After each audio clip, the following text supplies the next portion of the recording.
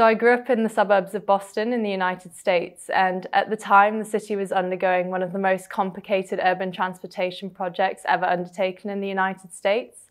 Um, and I remember when I was about 10 years old, my parents took me to the Boston Museum of Science, where they had an exhibit about the project called the Central Artery Tunnel Project, locally known as the Big Dig.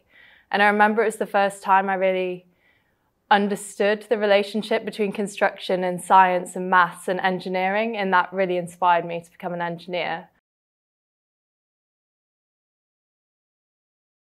Um, I'm a civil engineer, but I'm also an avid adventurer. Traveling inspires me. I love being able to see new places, try new food, meet new people, and explore new landscapes. So I think it's fair to say during my time away from work, I'm not that far from my backpack usually. I'd say one thing I didn't realise before joining the industry, particularly on the construction side, is how strong the team spirit is. It, it's so amazing how everyone individually has a really, really small part to play.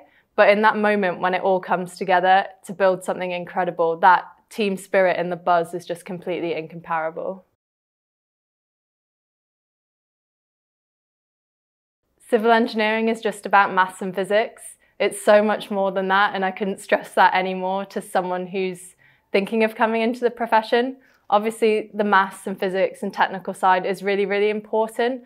But there's so many softer skills around that that you need to be a really excellent engineer. And the career's so diverse. You could work on the construction side or in design, or you could work in infrastructure or utilities, on highways airports, like the opportunities are really endless. So don't rule it out just because the sort of maths and physics side potentially scares you.